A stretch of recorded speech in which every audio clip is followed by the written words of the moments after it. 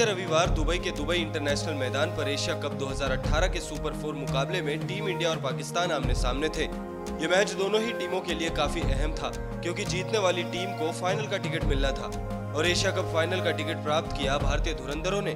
Toss जीतने के बाद पहले बल्लेबाजी का फैसला लेने वाले पाकिस्तानी कप्तान सरफराज अहमद को भारतीय गेंदबाजों ने गलत साबित किया। भारतीय गेंदबाजों ने पाक टीम को कभी भी मैच में बने रहने का मौका ही नहीं दिया।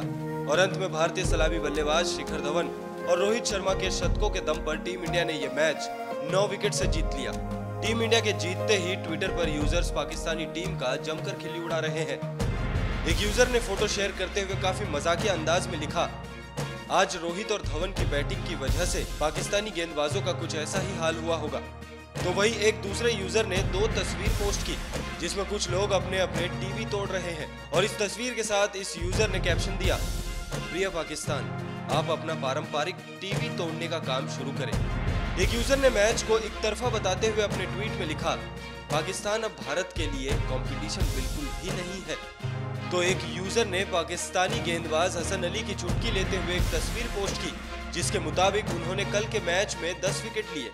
अब आपको तो याद ही होगा कि टूर्नामेंट से पहले उन्होंने बयान दिया था कि वो भारत के खिलाफ 10 विकेट लेंगे। तो वही इस तस्वीर के ज़रिए हसन अली अब खूब ट्रोल हो रहे हैं। इस फ़ोटो के साथ इस यूज़र ने लिखा मैसिव रिस्पेक्ट फॉर लसन अली। बहरहाल, अगर मैच की बात की जाए तो पाकिस्तान ने पहले बल्लेबाजी करते हुए भारत को 238 रनों का लक्ष्य दिया, जिसके जवाब में टीम इंडिया ने मैच 9 विकेट से जीता।